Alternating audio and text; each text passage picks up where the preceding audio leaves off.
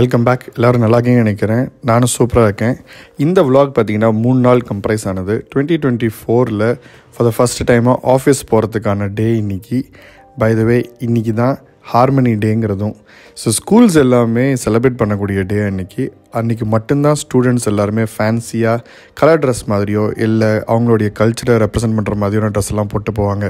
So நமக்கு இன்றைக்கி வந்து ஆஃபீஸில் கொஞ்சம் ப்ரெசன்டேஷன் ப்ளஸ் கொலாபரேஷன் ப்ளஸ் கொஞ்சம் ஸ்டேக் ஹோல்டர் மீட்டிங்லாம் இருந்ததுனால நம்மளும் கொஞ்சம் ரெடியாகி பக்காவாக பார்க்குற மாதிரி இன்னைக்கு கிளம்பியாச்சு. ஆஃபீஸ்க்கு போனால் office as usual meetings back to back இருந்துகிட்டே இருந்துச்சு. இன்றைக்கி எனக்கு இருந்த முக்கியமான மீட்டிங் என்னென்னு பார்த்தீங்கன்னா ஒரு இம்மர்ஷன் ப்ராஜெக்ட் கிட்டத்தட்ட ஒரு last six to eight weeks ரொம்ப அதுக்காக ரொம்ப ஸ்ட்ரகிள் பண்ணிட்டு இருந்துச்சு. அதுக்கான ஒரு ப்ரெசன்டேஷனுக்காக மட்டும்தான் இன்னைக்கு ஆஃபீஸ்க்கு வர மாதிரியான சூழ்நிலையே இல்லைனா ரெகுலராக வர வேண்டிய தேவையும் இல்லை.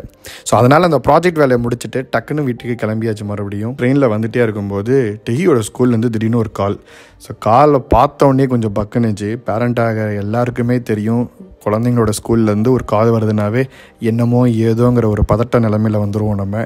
ஸோ நானும் கிட்டத்தட்ட அந்த நிலமையில தான் ஃபோன் அட்டன் பண்ணேன். ஃபோன் அட்டன் பண்ண உடனே இது மாதிரி ஒரு சின்னதாக ஒரு எமர்ஜென்சி ரொம்ப பதட்டப்படாதீங்க. ஹி ஓகே தான். ஆனால் வந்து உங்களால் பிக்கப் பண்ணிக்க முடியுமா அப்படின்னு கேட்ட உடனே நம்ம என்ன பண்ணுறதுன்னு தெரியாமல் ஒரு சூழ்நிலை இருந்தாலும் எஸ் நான் வந்துட்டே இருக்கிறேன் அப்படின்ட்டு டக்குன்னு நேராக டெகியை பார்க்கவே போயாச்சு. ஸ்கூலில் போய் டெகியை பார்த்தா டெகி வந்து சிக் பே ஏரியாவில் உட்காந்துருந்தேன் அப்படி. ஸோ ஃப்ரெண்ட்ஸ் எல்லாம் கூட வேறு இருந்தாங்க.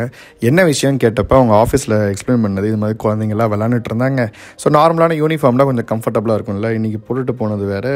நம்ம கல்ச்சரலான கொஞ்சம் ஃபேன்சியான ட்ரெஸ்ஸு ஸோ கீழே போ ஓடும்போது கொஞ்சம் தடிக்கிட்டு விழுந்துட்டா அப்படி அப்படிங்கிற மாதிரி சொல்லியிருந்தாங்க. சரி கையை வேற தூக்க முடியாமல் ஒரு மாதிரி இருந்தோடனே எனக்கே டவுட் ஆயிடுச்சு. சரி கையில் ஏதாச்சும் அடிபட்டது ஏதாச்சும் ரொம்ப வலிக்குதான்னா ஆமாங்கிறமா அழுகுறமா அழுகுறமாயிட்டா அப்படி. சரி அந்த இடத்த விட்டு போய்க்கு கிளப்பி கொஞ்சம் ஃப்ரீ பண்ணிடலாம் அப்படின்னு டக்குன்னு வீட்டுக்கு போயிட்டு வந்துட்டேன் நான் ஃபஸ்ட்டு வீட்டுக்கு வந்தோடனே பார்த்தீங்கன்னா ஒரு two to two and half hours கொஞ்சம் பொறுமையாக விட்டு வச்சுச்சு. ஏன்னா என்ன ஒரு சின்னதாக கீழே விழுந்து அடிப்பட்டாலும் வலி இருக்கும். ஸோ அந்த வலி டக்குன்னு போயிடுங்கிறதுக்காக வெயிட் பண்ணிகிட்டே இருந்தோம். ஆனால் two to two and half hours ஆகியும் அந்த வலி சரியாகாதனால டக்குன்னு பக்கத்தில் இருக்கிற அர்ஜென்ட் கேருக்கு கூட்டிகிட்டு போயாச்சு.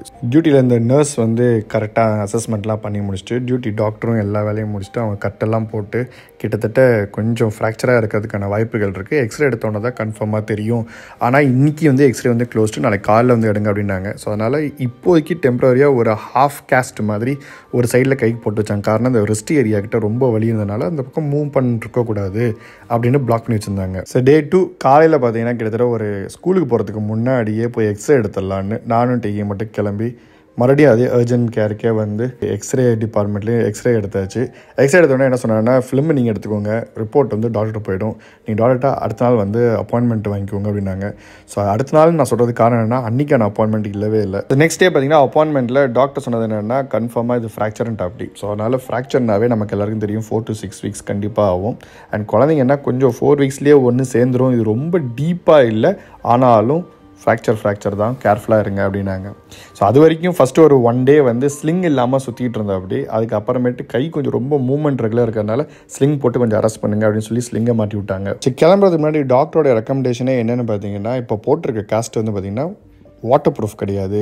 குளிக்கிறதோ இல்லை தண்ணி பட்டாலோ ரொம்ப கஷ்டமாக போயிடும். உள்ள ஸ்கின்னு வந்து இன்ஃபெக்ஷன் ஆகிறதுக்கான வாய்ப்புகள்லாம் இருக்குது இஃப் யூ உங்களால் முடிஞ்சிச்சுன்னா இன்னொரு ஆப்ஷன் இருக்குது அப்படின்னாங்க. கொஞ்சம் அது வந்து எக்ஸ்பென்சிவாக இருக்கும். ஸோ வாட்டர் ப்ரூஃப் ஆப்ஷன் என்னென்னு அடுத்து நம்ம பார்க்கும்போது ஃபிசியோதெரப்பிலே ஒரு ஸ்பெஷல் கேஸ்ட் இருந்துச்சு. ஸோ அதை வாங்கிட்டு அதை ரீப்ளேஸ் பண்ணிவிட்டு வீட்டுக்கு கிளம்பியாச்சு. இது வந்து இப்போதைக்கு டெம்பரவரியாக ஒரு ஒன் வீக்குக்கான ஐடியாஸ் தான் கொடுத்துருக்காங்க. மறுபடியும் வந்து ஒன் வீக் கழிச்சு செக் பண்ண சொன்னாங்க. கம்ஃபர்ட் லெவலில் கொஞ்சம் கஷ்டமாக தான் இருக்கும். எப்படி பார்த்தாலும் ஒரு ஃபோர் டு சிக்ஸ் வீக்ஸில் எல்லாமே சரியாயிடும் அப்படின்னு டாக்டர் சொல்லியிருக்கா அப்படி கிட்டத்தட்ட இதுலேருந்து என்ன தெரிஞ்சுன்னா ஒரே நாளில் காலையில் அப்படி கிளம்பணும் நைட்டுக்குள்ளாலேயே எல்லாமே லைஃப் கொஞ்சம் டக்குன்னு அப்படி திருப்பி போடுற மாதிரி இருந்துச்சு பட் எஸ் இதுவும் கடந்து போகுங்கிற மாதிரி நம்ம வாழ்க்கையை எடுத்துக்கிட்டு வாழ்க்கை நகர நகர நம்மளும் மூவ் ஆகிட்டே இருக்க வேண்டியதான் ஸோ இந்த vlog உங்களுக்கு பிடிச்சிருக்குன்னு நினைக்கிறேன். இது எங்களுக்கான ஒரு ஒரு அன்பிளசண்ட்டான ஒரு டைம் தான். பட் ஸ்டில் இட்ஸ் ஓகே இன்னொரு vlogல மறுபடியும் உங்களை பார்க்கும் வரை signing off your SK from SK family vlogs. Bye